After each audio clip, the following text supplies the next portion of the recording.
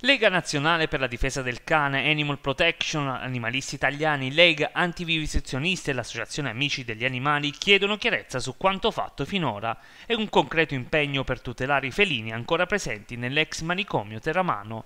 Lo slogan tutela e legalità che verrà usato nel sit-in in programma per domenica 19 maggio è a detta delle associazioni per ricordare al sindaco Gian Guido D'Alberto le proprie responsabilità.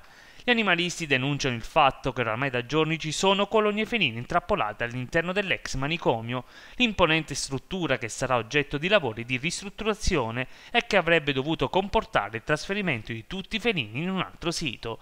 Se così dovesse essere, i gatti sono oramai da diverso tempo senza cibo ed acqua e quindi destinati a morire. Purtroppo sì, questa mattina l'hai visto anche tu, hai fatto una ripresa da questo minimo foro che abbiamo e gli animali sono all'interno.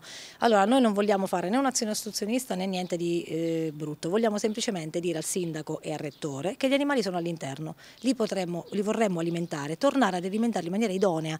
Se ci potessero gentilmente riaprire il sito in via del Baluardo 3, che è sempre stato un sito messo in sicurezza, provvedere alla cattura e spostarli nel sito dove il sindaco riterrà opportuno, sterilizzati ovviamente.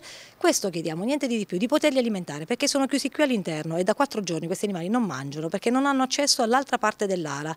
Quindi chiediamo anche di poter avere un contraddittorio, di poter entrare anche noi associazioni con il rettore e il sindaco all'interno della struttura senza magari giornalisti, fra di noi e vedere se realmente queste, questi animali possono andare dall'altra parte perché mm, ci sono mm, fatti discordanti che attestano che gli animali possono andare di là.